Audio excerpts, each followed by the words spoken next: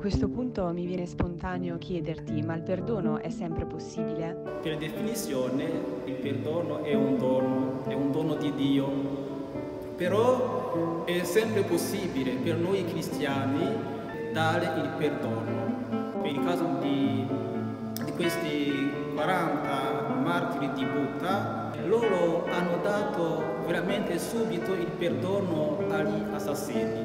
Hanno detto Padre, perdona loro. E questo è stato un frutto di una grande educazione che c'era e che c'è anche nel seminario minore di Buddha.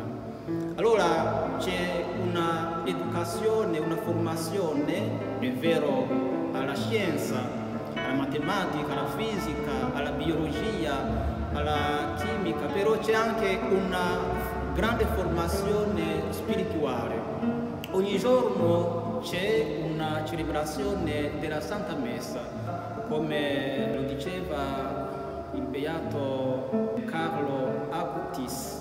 La Santa Messa, l'Eucaristia, è come l'autostrada che ci porta al cielo e che ci aiuta anche a perdonare. E quindi questa formazione spirituale, la formazione anche culturale. C'era veramente un clima di amicizia, un clima di fraternità tra di noi che dare il perdono era una cosa per noi facile.